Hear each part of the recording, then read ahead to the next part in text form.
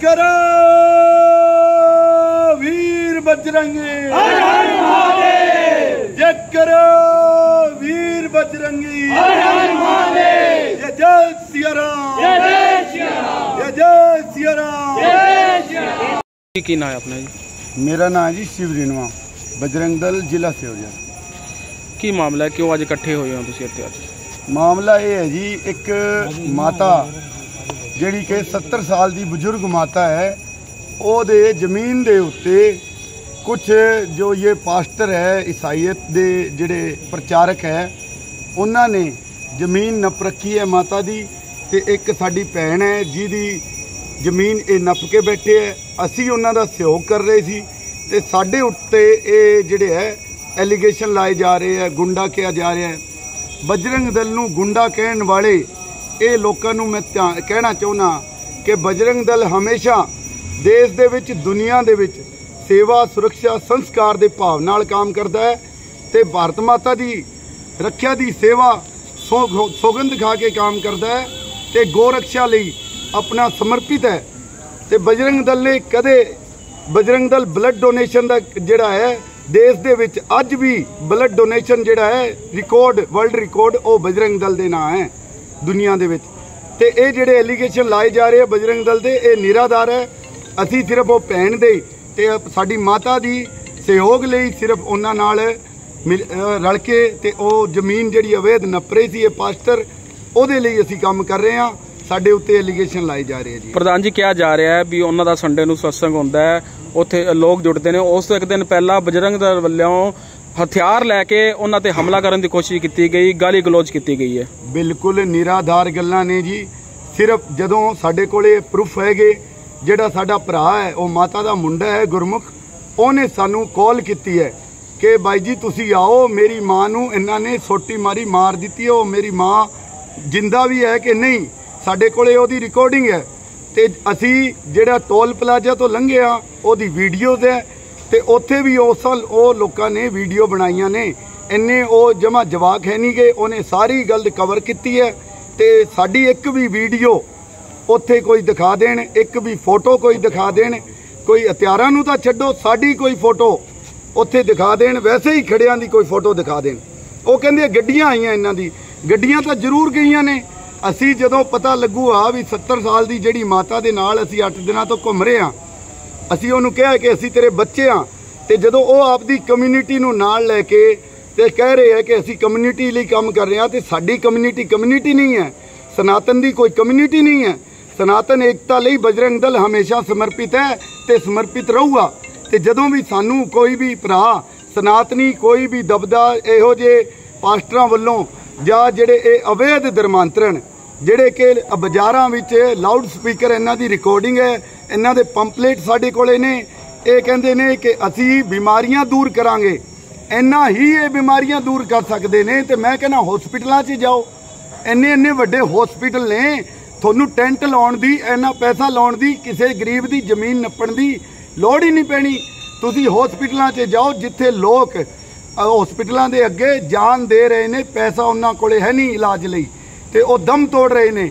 ਜੇ ਤੁਸੀਂ ਸੇਵਾ ਕਰਨੀ ਹੈ, ਇੰਨਾ ਹੀ ਤੁਸੀਂ ਦੂਰ ਕਰ ਰਹੇ ਹੋ ਬਿਮਾਰੀਆਂ, ਤੇ ਉੱਥੇ ਕਰੋ। ਇਹ ਭੋਲੇ ਭਾਲੇ ਲੋਕਾਂ ਨੂੰ ਗੁੰਮਰਾਹ ਕਰਕੇ ਤੁਸੀਂ ਜਦੋਂ ਬਿਮਾਰੀਆਂ ਦੂਰ ਕਰਨ ਦੀ ਤੇ ਉਹਨਾਂ ਦੇ ਦੁੱਖ ਦਰਦ ਦੂਰ ਕਰਨ ਦੀ ਅਨਾਉਂਸਮੈਂਟਾਂ ਕਰਾ ਕੇ ਬੁਲਾਉਨੇ ਹੋ, ਤੇ ਧੀਰੇ ਧੀਰੇ ਉਹ 4 ਦਿਨਾਂ ਬਾਅਦ ਉਹਨਾਂ ਨੂੰ ਪੁੱਛਦੇ ਹਾਂ ਬਈ।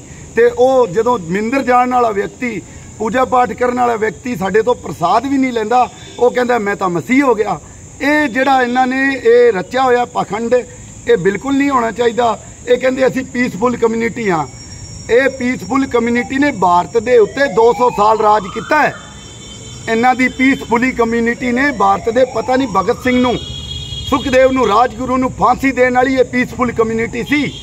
ਤੇ ਇਹ ਇਹ ਗੱਲਾਂ ਇੱਥੇ ਨਾ ਕਰੇ, ਸਿਰਫ ਅਸੀਂ ਸਨਾਤਨ ਦੀ ਸੇਵਾ ਲਈ, ਰੱਖਿਆ ਲਈ ਅਸੀਂ ਸਮਰਪਿਤ ਹੈਗੇ ਆ ਉਹ ਅਸੀਂ ਹਮੇਸ਼ਾ ਕਰਾਂਗੇ। ਪ੍ਰਧਾਨ ਜੀ, ਕਿਹਾ ਜਾ ਰਿਹਾ ਹੈ ਉਹਨਾਂ ਕੋਲ ਜ਼ਮੀਨ ਦੇ ਸਾਰੇ ਲੀਗਲ ਡਾਕੂਮੈਂਟ ਨੇ ਫਿਰ ਵੀ ਉਹਨਾਂ ਨਾਲ ਧੱਕਾ ਕੀਤਾ ਜਾ ਰਿਹਾ ਜ਼ਮੀਨ ਤੇ ਨਜਾਇਜ਼ ਕਬਜ਼ਾ ਕਰਵਾਇਆ ਜਾ ਰਿਹਾ ਉਹ ਲੀਗਲ ਡਾਕੂਮੈਂਟ ਜਿਹੜੇ ਵੀ ਹੈ ਉਹ ਗੱਲਾਂ ਕਿਉਂ ਕਰਦੇ ਨੇ? 10 ਵਾਰ ਉਹ ਮੀਡੀਆ ਦੇ ਅੱਗੇ ਆ ਗਏ। ਉਹਨਾਂ ਨੇ ਇੱਕ ਵਾਰ ਵੀ ਕਿਤੇ ਵੀ ਠੇਕਾਨਾਮਾ ਤੱਕ ਨਹੀਂ ਦਿਖਾਇਆ।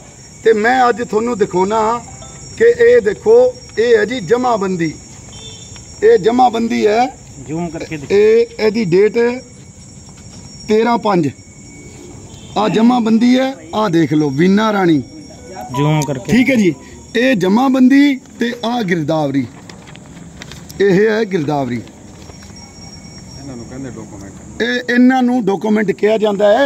ਇਹ ਅਸੀਂ ਅੱਜ ਤੁਹਾਡੇ ਸਾਹਮਣੇ ਤਾਂ ਆਏ ਆ ਕਿ ਇਹ ਜਿਹੜਾ ਨਿਰਾਧਾਰ ਬਜਰੰਗ ਦਲ ਉੱਤੇ ਜਿਹੜਾ ਕਿ ਸਮਾਜ ਦੇ ਵਿੱਚ ਸੇਵਾ ਸੁਰੱਖਿਆ ਸੇਵਾ ਕਰਦਾ ਹੈ ਸਮਾਜ ਦੀ ਹਮੇਸ਼ਾ ਸਮਰਪਿਤ ਰਹਿੰਦਾ ਹੈ ਉਹਦੇ ਉੱਤੇ ਜਿਹੜੇ ਨਿਰਾਧਾਰ ਇਲਜ਼ਾਮ ਲਾ ਰਹੇ ਨੇ ਤੇ ਉਹ ਪਰਿਵਾਰ ਨੂੰ ਦਬਾਇਆ ਜਾ ਰਿਹਾ ਹੈ।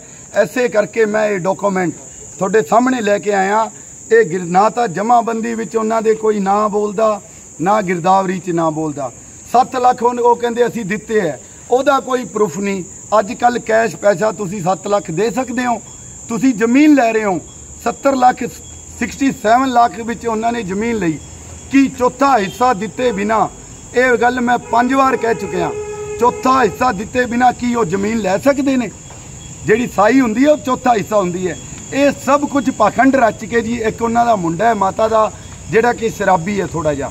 ਉਹਨੂੰ ਇਹ ਸ਼ਰਾਬ ਪਿਲਾ ਕੇ ਜਾਂ ਉਹਨੂੰ ਥੋੜਾ ਪ੍ਰਲੋਭਨ ਲਾਲਚ ਲਾਲਚ ਦੇ ਕੇ ਇਹ ਸਭ ਕੁਝ ਕਰਾਇਆ ਜਾ ਰਿਹਾ ਹੈ। ਉਹਨੂੰ ਅੱਗੇ ਕਰਕੇ ਪੂਰਾ ਪਰਿਵਾਰ, ਬਾਕੀ ਪਰਿਵਾਰ ਦੇ ਤਿੰਨ ਸਦੱਸਿਆ ਜਿਹੜੇ ਉਸ ਜ਼ਮੀਨ ਦੇ ਮਾਲਕ ਨੇ, ਉਹ ਮੁੰਡਾ ਖੁਦ ਕਹਿ ਰਿਹਾ ਹੈ ਕਿ ਅਸੀਂ ਚਾਰ ਭਰਾ, ਚਾਰ ਜਿਹੜੇ ਹੈ, ਵਿਅਕਤੀ ਇਹਦੇ ਵਿੱਚ ਮਾਲਕ ਨੇ ਜ਼ਮੀਨ ਦੇ, ਉਹ ਖੁਦ ਐਕਸੈਪਟ ਕਰ ਰਿਹਾ ਹੈ। ਤੇ ਉਹ ਚਾਰ ਕੌਣ ਨੇ? ਜਿਹੜੀ ਮਾਤਾ ਤੇ ਉਹਦਾ ਮੁੰਡਾ ਤੇ ਭੈਣ ਜਿਹੜੀ ਸਾਡੇ ਨਾਲ ਖੜੀ ਨੇ। ਹੁਣ ਤੁਸੀਂ ਇੱਕ ਹੋਰ ਗੱਲ ਦੱਸਦਾ, ਜਿਹੜੀ ਭੈਣ ਹੈ ਸਾਡੀ, ਵੀ ਜਿਹੜੀ ਭੈਣ ਹੈ, ਉਹਦਾ ਕਿਤੇ ਵੀ ਕੋਈ ਵੀ ਠੇਕੇਨਾਮੇ ਤੇ ਸਾਈਨ, ਕੋਈ ਵੀ ਜ਼ਮੀਨ ਵੇਚਣ 'ਚ ਸਾਈਨ, ਕਿਤੇ ਵੀ ਦਿਖਾ ਦੇਣ। ਤੇ ਕੀ ਚਾਰ ਜਿਹਦੇ ਚਾਰ ਬੰਦਿਆਂ ਦੇ ਨਾਂ ਜ਼ਮੀਨ ਹੋਵੇ ਤੇ ਕੀ ਤਿੰਨ ਬੰਦਿਆਂ ਦੇ ਸਾਈਨ ਕਿਤੇ ਜ਼ਮੀਨ ਲੈ ਸਕਦਾ ਹੈ ਕੋਈ? ਫਿਰ ਜੇ ਲੈ ਲਈ ਤੇ ਉਹਦਾ ਉਹ ਟੈਂਟ ਸਾਰੇ ਚਲਾ ਰਿਹਾ ਹੈ, ਉਹ ਸਾਰੇ ਨੂੰ ਆਪ ਦੀ ਦੱਸ ਰਿਹਾ ਹੈ ਤੇ ਇਹ ਕੀ ਅਵੈਧ ਕਬਜ਼ਾ ਨਹੀਂ ਹੈ। ਮੈਂ ਪ੍ਰਸ਼ਾਸਨ ਨੂੰ ਬਹੁਤ ਜ਼ਿਆਦਾ ਚੇਤਾਇਆ ਸੀ ਕਿ ਉਹ ਵੀ ਅਸੀਂ ਮੈਮੋਰੈਂਡਮ ਦਿੱਤਾ ਸੀ ਕਿ ਇੱਥੇ ਜਿਹੜਾ ਹੈ, ਇਹ ਘਟਨਾ ਹੋ ਸਕਦੀ ਹੈ। ਤੇ ਪ੍ਰਸ਼ਾਸਨ ਨੇ ਅਣਦੇਖਾ ਕੀਤਾ ਤੇ ਉਹ ਘਟਨਾ ਘਟੀ। ਹੁਣ ਮਾਤਾ ਜਿਹੜੀ ਹੈ, ਇੱਥੋਂ ਰੈਫਰ ਕਰ ਦਿੱਤੀ ਗਈ ਸੀ। ਹੁਣ ਉਹ ਮਾਤਾ ਦਾ ਹਾਲਾਤ, ਸਾਡਾ ਸੰਪਰਕ ਹੈ, ਅਸੀਂ ਮਾਤਾ ਨਾਲ ਦੋ ਕਾਰਜਕਰਤਾ ਭੇਜੇ ਹੋਏ ਨੇ ਉੱਥੇ।